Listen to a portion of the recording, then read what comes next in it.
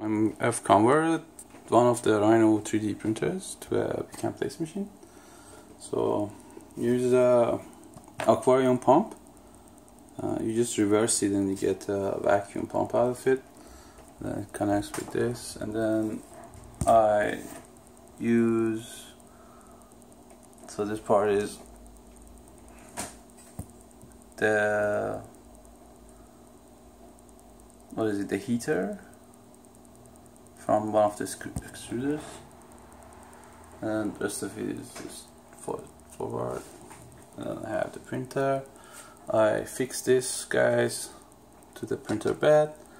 And then I stick this here the PCB board with uh, magnets. So it's aluminum so it doesn't stick I have to have two magnets. Stick them together.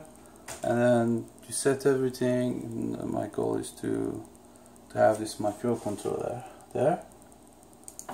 Print. So it technically comes in, turns on the suction, picks the microcontroller,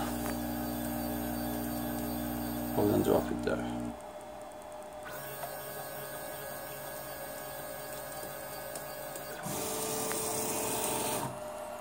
And this is how it looks from the top.